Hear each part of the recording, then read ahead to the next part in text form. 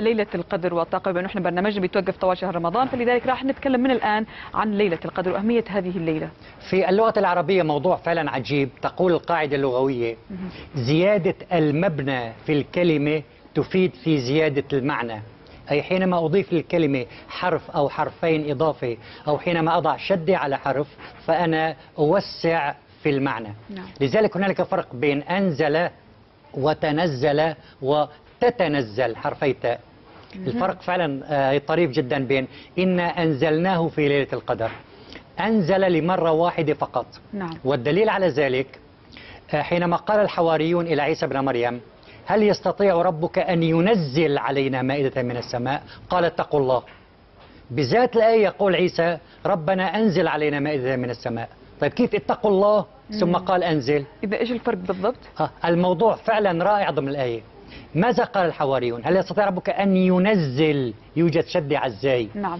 أي يريدون فطور وغدا وعشاء كل يوم أن ينزل. عيسى قال اتقوا الله عيب هذا الكلام. قال عيسى ربنا أنزل مرة واحدة فقط نعم. مائدة من السماء. إذا قال اتقوا الله إلى كلمة ينزل. نعود إلى القدر. حببنا باللغة العربية الفصحى أكثر. نعم. إذا فعلا آه، في رمضان قال إنا أنزلناه في ليلة القدر دفعة واحدة في ليلة القدر. نعم. لكن الموضوع الهام قال تعالى تنزل الملائكة والروح فيها. الروح ليس جبريل فقط عليه السلام. لماذا؟ لو كان جبريل كان قال والروح معها. نعم. والروح فيها لتوزع ما يسمى بين قوسين الطاقة السنوية. كل إنسان يحتاج إلى ثلاث أنواع من الطاقة. طاقة يومية يحصل عليها خلال الصلوات الخمسة. طاقة سنوية توزع في ليلة القدر. وطاقة يحتاجها مرة واحدة في العمر يأخذها عن طريق الحج. فالحج مرة واحدة في العمر. حلو. لكن ليلة القدر هي توزيع ما يسمى الطاقة السنوية. إذا تنزل الملائكة والروح فيها. لكن الموضوع الهام أن هذه الطاقة يحصل عليها كل إنسان مؤمن بالله سواء كان داخل المسجد أو خارجه. فليس يعني من الضروري أن يكون الشخص داخل المسجد لكي يحصل على على هذه الطاقة. نعم. هنالك الكثير والكثير جدا في المجتمع في العصور في العصر الحالي يعملون خارج المسجد لضرورة المجتمع. نعم. فمثلا رجال الشرطة يعني الله يعطيه العافية الذي يسهر حتى الصباح على أمن المجتمع. آه، يعني الإنسان الذي يعمل في, ال- في الأمور الطبية يسهر على المرضى. فهل هذا ليس له علاقة بليلة القدر؟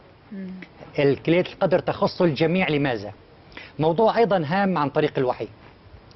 الموضوع الهام نلاحظ إن الذين قالوا ربنا الله ثم استقاموا هذين الشرطين ربنا الله ثم استقاموا تتنزل حرفي تاء تتنزل عليهم الملائكة ألا تخافوا ولا تحزنوا. ليلة القدر قال تنزل نعم.